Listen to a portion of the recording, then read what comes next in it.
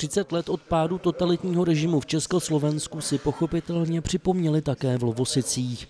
Vzpomínkové akce odstartoval dvoudenní festival sametového filmu, který probíhal v Centru kultury Lovoš a také v Čajovně a Vinotéce bez názvu. Lidé se mohli vrátit v čase a zavzpomínat u dobových pořadů, dokumentů a diskuzí s hlavními aktéry tehdejšího dění na Litoměřicku. Diváci shlédli například řadu let zapovězený film Ucho s Jiřinou Bohdalovou a Radoslavem Brzobohatým v hlavních rolích nebo kultovní snímek Ropáci z dílny režiséra Jana Svěráka. Úspěch měla také beseda s bratrem Karla Kryla Janem, na které se podíleli místní gymnazisté. Jan Kryl v Lvodivadle připomněl život i dílo svého bratra Karla a zahrál i jeho nejznámější písně. Hlasy mám,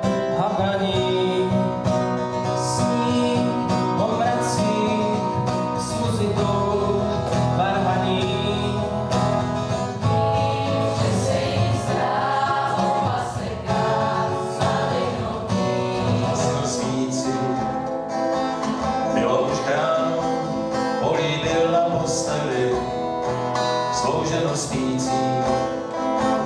Spala jak víla, jen vlasy hlavily, jak zlatá šíla. Oslavy vyvrcholily přímo v den výročí sametové revoluce otevřením listopadového zákoutí na dvoře Fančmitovy vily. Máme tady instalovanou knihobudku s, se zakázanými autory, se zakázanými díly, dizidenty nebo exilovými autory.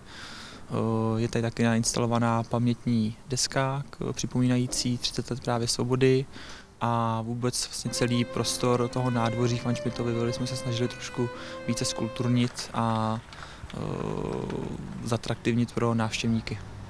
Až do konce roku bude navíc na Václavském náměstí k vidění panelová výstava 30 let svobody.